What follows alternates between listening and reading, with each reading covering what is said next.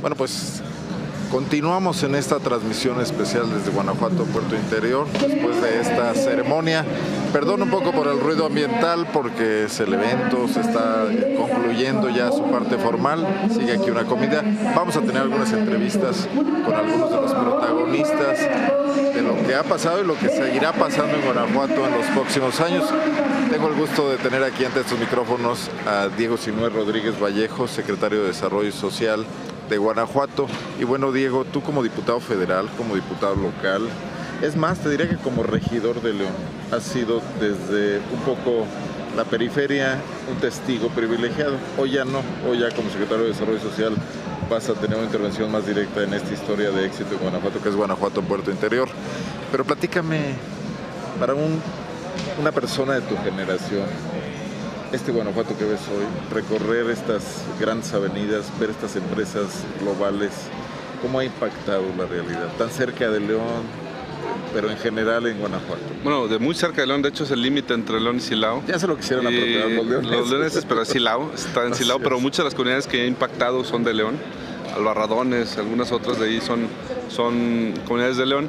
Bueno, pues sí, me tocó cuando era región en el 2006, fíjate, los 10, hace 10 años que cumple hoy el puerto interior y un poco antes, pues se hablaba mucho, ¿no? Que el puerto interior que iba a estar, pero no había una idea muy clara de lo que era un puerto, un puerto seco.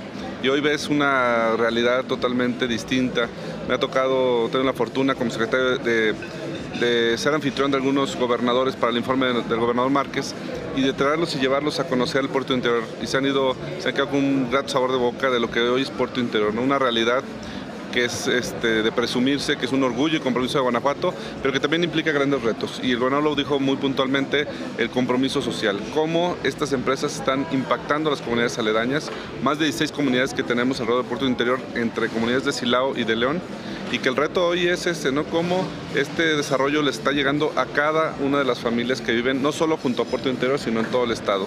Porque Puerto Interior pues es esta punta de lanza junto con General Motors, pero creo que tenemos todavía mucho camino por recorrer en este en esa amalgama entre desarrollo económico y desarrollo social, que pareciera que es nuevo, pero ya tiene tiempo trabajándose en el gobierno del Estado.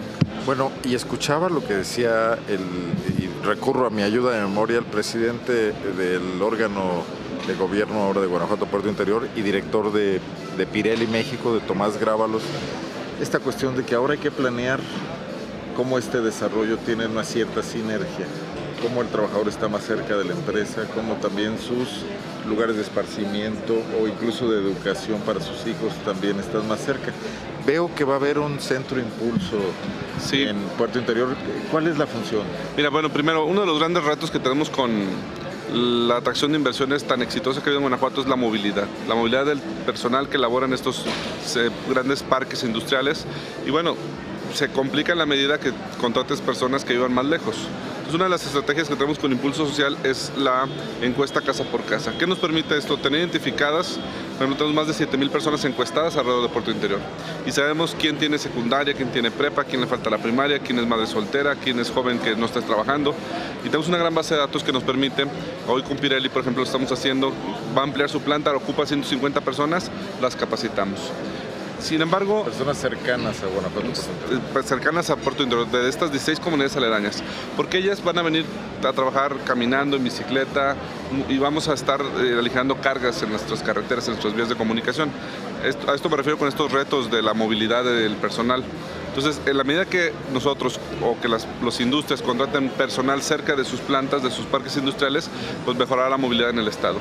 En ese sentido, nosotros lo que estamos haciendo con esta encuesta, con esta georreferenciación, es dando la oportunidad de capacitar. Sin embargo, necesitamos un lugar no solo para la capacitación, sino para el desarrollo integral de la persona. Y eso es un centro impulso, un centro comunitario, donde tendrán clases tanto de, eh, para el autoempleo, para alguna, eh, con el llega para alguna industria, tendremos clases de música, A los tenemos propios a los habitantes, que laboran aquí, a los habitantes. a los habitantes de las O comunidades. sea, que Puerto Interior no se convierte en una estructura ajena a su No, no, ni cerrada, La gente puede venir a Puerto Interior Es a tomar correcto. una clase de estas de las que me hablas. Sí, sí, sí. Esto va a ser abierto al público. Tendrán una cancha de fútbol, tendrán eh, consultorios médicos, psicológicos, biblioteca, podrán estudiar aquí su universidad virtual con la UBEC, podrán tener clases con el INEVA. El objetivo es que se desarrollen, no solo los empleados, sino todas las personas que viven en zonas aledañas a Puerto Interior. Y además tendremos un centro de capacitación con YECA para que las empresas de aquí sea el semillero. Entonces, para la gente de Nápoles, de Salitrillo, de Nuevo México, de San Antonio, de Barradones, será una gran oportunidad de estar capacitándose, de estar desarrollándose como personas, sus hijos. Mientras ellos se capacitan, el hijo está en clase de karate, el otro toca la guitarra o está en un torneo, o la señora en una clase de cocina mientras el señor se capacita o viceversa. Eso nos va a permitir desarrollo integral de la familia, pero con una visión muy dirigida al ingreso de las familias. El desarrollo económico tiene que verse reflejado en los bolsillos y en las mesas de todas las familias de Guanajuato. Bueno, y de alguna manera, eh, pues las personas de las que estamos hablando, los trabajadores, estos 16 mil actualmente, los próximos 20 o 25 mil de los que se habló aquí en los años que vienen, pues forman parte del Guanajuato un poco más privilegiado. El Guanajuato que ya tiene un empleo, que ya tiene una seguridad social. Eh, ¿Qué pasa con el resto de la gente? ¿Cómo, cómo vas con impulso? Vamos muy bien, fíjate que Ya, estuvimos ya- en la ya saliéndonos un poco del tema Del del tema, del tema y no porque, porque está ligado el tema social.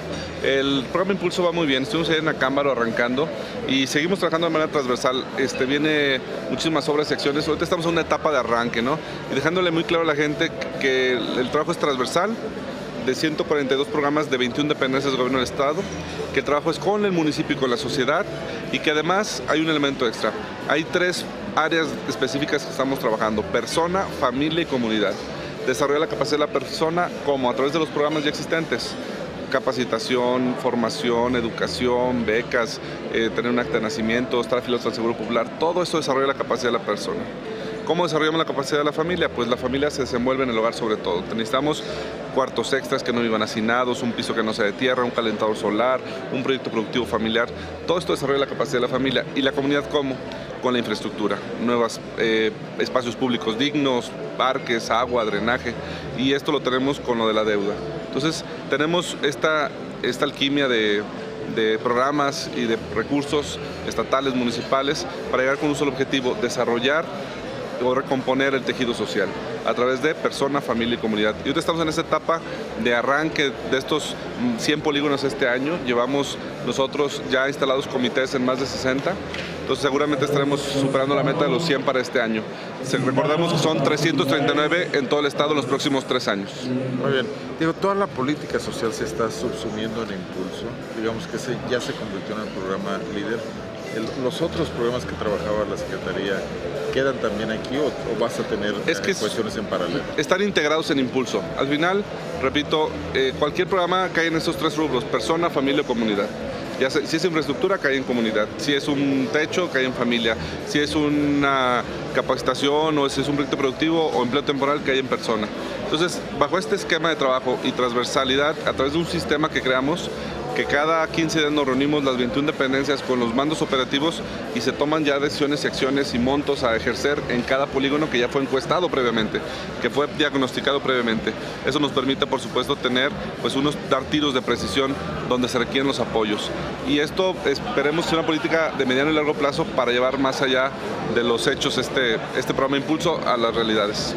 Diego, yo te agradezco mucho que nos hayas dado este espacio. Vamos a continuar aquí. Yo le agradezco al secretario. de Muchas gracias. Social Saludos a todo el auditorio. Posibilidad de platicar. Va a haber una breve pausa. Gracias.